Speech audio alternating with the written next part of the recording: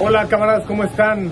Qué gusto saludarles. Pues no, no se incrementó ni aunque sea en un ápice las dosis de optimismo por lo que pueda ser la próxima presentación de México, el desempeño que da en la Copa del Mundo. Cerraron contra Suecia con una derrota. Siempre es bueno ganar cuando es tu último partido. Temas de confianza, en temas de ánimo, pero no es lo sustantivo, no es lo más importante esta selección mexicana, aunque hubiera ganado hoy, tenía que haber sido acompañado ese resultado hipotéticamente de victoria con un funcionamiento mucho más pleno y convincente. Y no, simplemente la selección mexicana juega en base al impulso individual y el nivel individual es muy mediano.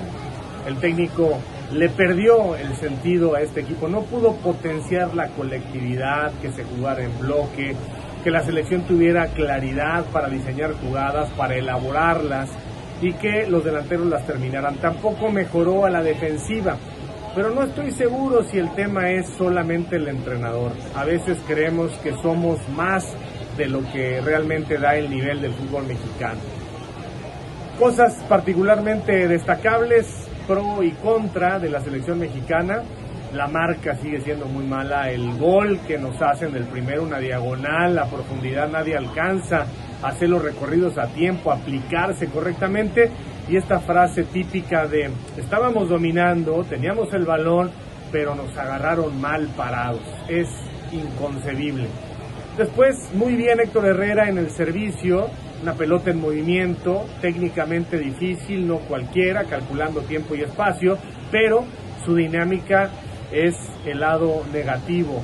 Y el medio campo de México es, a mí me parece, el punto más profundo a discutir. Alexis Vega bien por izquierda, es el dueño de esa zona, a la ausencia del Tecatito Corona, detalles de Antuna. Pues lo más relevante es lo de Luis Chávez, indiscutiblemente le demuestra al Tata Martino que está muy clavado con el tema de los experimentados, que personalidad, prestancia, solvencia, técnica y táctica no están peleados con la edad. Allí va a quedar siempre la interrogante de saber qué pudo hacer Santiago Jiménez en esta selección. Pero esto ya es inútil y es cuestión del pasado. Raúl Jiménez, pues no está, hay que decirlo, pero también hay que ser justos. Ni siquiera con 45 minutos puede realmente evaluarlo, ¿no? Sin embargo, pues se coló al final porque por jerarquía es el número uno en esta selección mexicana. Da la impresión de que esto le da elementos al técnico para decantarse por Funes Mori, porque pues al final él dice, bueno, puse a Jiménez y no es que esté el alta médico, no, es el ritmo futbolístico para una Copa del Mundo.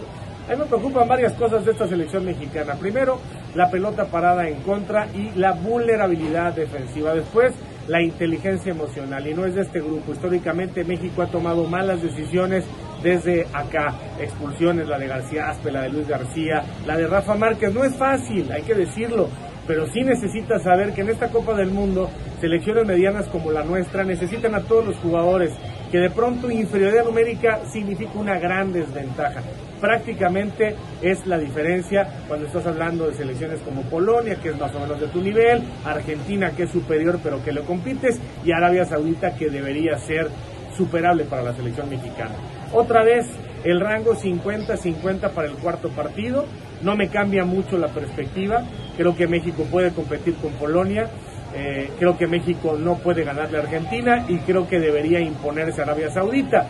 Vamos a ver entonces si el cuarto partido es finalmente eh, la meta. Pero no debería de ser, deberíamos estar diciendo, lo he dicho hasta el cansancio, México debería, por el tema de la inversión, el tema de la densidad de población, tendríamos que estar diciendo quinto partido sí o sí, así es que estamos estancados. La duda es, ¿habrá para cuarto partido? Y sigue el cuarto partido, no aplaudamos, porque es a donde han llegado todos. A mí me parece que el técnico se desesperó, el técnico se desgastó, el técnico ya se quiere ir, pero no es el único responsable. Al final es toda la estructura y todo el sistema el que no está contribuyendo para generar las mejores decisiones integrales.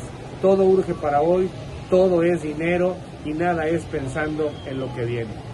Les mando un abrazo, cambio fuera. No, no hay cómo ser optimistas.